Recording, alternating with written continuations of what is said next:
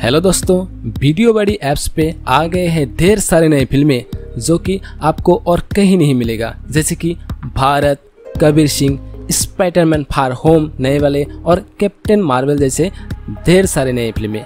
और एक खास ये है कि फ़िल्म देखने के लिए आपको उल्टा पैसा दे देगा, जिसे आप पेटीएम से उड्रो भी ले सकते हो। तो देर किस बात की? दे दिया है लिंक डिस्क्रिप्शन पे, कर लीजिए इंस्टॉल और कीजिए मज़े।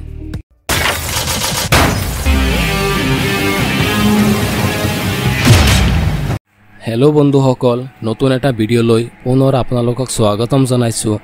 বানপানীৰ কবলত বহুত ক্ষতি হ'ল যদিও পুনৰ কণীবোৰ বহাই দিছোঁ হেডছিঙৰ বাবে। কিন্তু আজি আমি আলোচনা কৰিম কইল পাখি বা বতাহ চৰাইক কি কি মেডিচিন দিব লাগে আৰু কেনেদৰে দিব লাগে।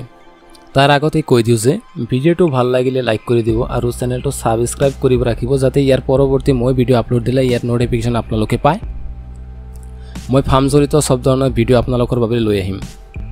আমি দেখিবলৈ পোৱা মতে আমাৰ অসমত বতাচৰা পোহা ফাৰ্ম বহুত বাঢ়ি গৈ আছে কিন্তু এটা সমস্যাৰ সন্মুখীন হ'ব লগা হৈছে সেইটো হৈছে বেছিভাগ যেতিয়া সিহঁতে বাচ্চাবোৰ কিনি আনে তেতিয়া বাচ্চাবোৰ বচাব নোৱাৰে। ফলত লাভটো দূৰৰ কথা লোকচানৰ ভাগিদাৰী হ'ব লগা হয়।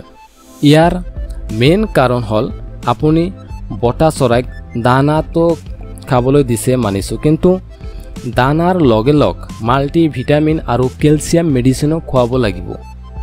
যেনেদৰে ভিডিঅ'টোৰ বাওঁফালে দেখিবলৈ পাইছে ভিমাৰেল মেডিচিনটো এইটো বতা চৰাইৰ মাল্টি ভিটামিন হয়।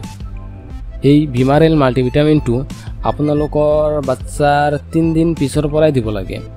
আৰু এইটো দিয়াৰ নিয়ম হ'ল যদি আপুনি এশটা বাচ্চাক দিব খোজে তেনেহ'লে এক লিটাৰ পানীত সাত এম এল মিলাই দিব। মই আকৌ একবাৰ কৈ আছোঁ এক লিটাৰ পানীত সাত এম এল মিলাব যদি আপুনি এশটা পোৱালিক দিব খোজে। সেই হিচাপত আপুনি যদি দুশটা পোৱালিক দিব খোজে তেনেহ'লে দুই লিটাৰ পানীত চৈধ্য এম এল মিলাব।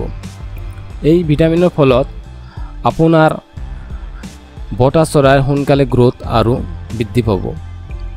ঠিক তেনেদৰে ভিডিঅ'টোৰ সোঁফালে দেখিবলৈ পোৱা মেডিচিনখন হ'ল কেলছিয়ামৰ।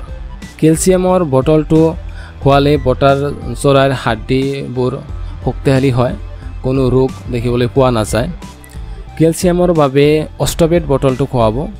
আৰু এইটো কেনেদৰে খুৱাব লাগে আপুনি ভেটেনেৰী মানে য'ৰ পৰা কিনিব তাক ক'লেই আপোনাৰ বাচ্চাৰ অনুপাত অনুযায়ী ভালভাৱে ভালভাৱে বুজাই দিব।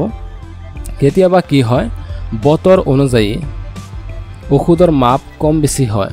ঠাণ্ডা থাকিলে যি পৰিমাণ লাগিব গৰম থাকিলে তাৰ পৰিমাণ চেঞ্জ হৈ যাব।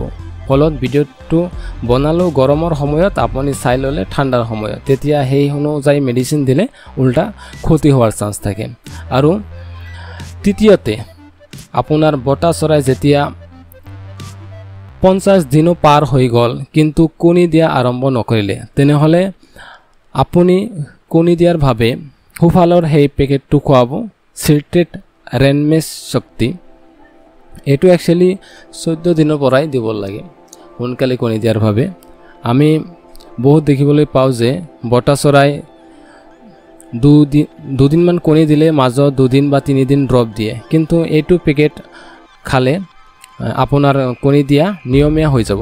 তেনেহ'লে ভিডিঅ'টো আৰু লম্বা নকৰোঁ। আপোনাৰ কিবা সুধিব লগা হ'লে কমেণ্ট কৰি জনাব আৰু বতাহ চৰা বাচ্চা লাগিলে মোৰ পৰা ল'ব পাৰিব। ঠিক আছে বন্ধুসকল ধন্যবাদ।